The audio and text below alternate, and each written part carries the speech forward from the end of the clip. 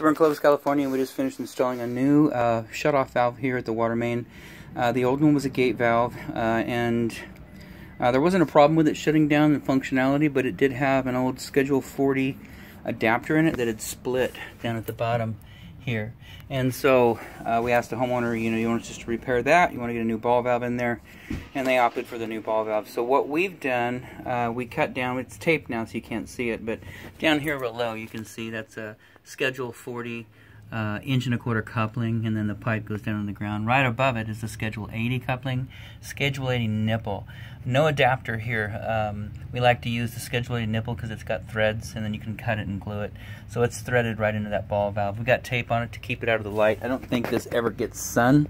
Uh, it seems like I was here this morning and the sun just kind of passes over, so I think it's always in the shade, but PVC pipe needs to be um, wrapped um, to stay out of UV light, so it's wrapped.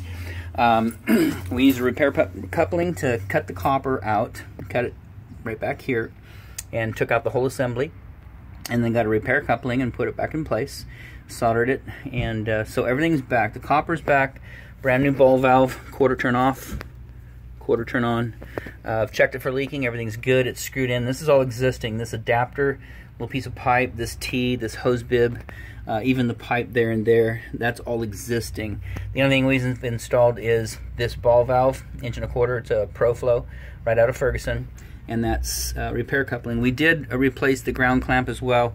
We had to actually cut it off, it was corroded in place. So we just went over to the hardware store, got you a new ground clamp, got the ground wire back out and screwed in, so that's all brand new as well, that's ours. Um, so everything is good. Uh, we've already collected payment, we'll get your receipt out this afternoon. Outside of that, this installation is done.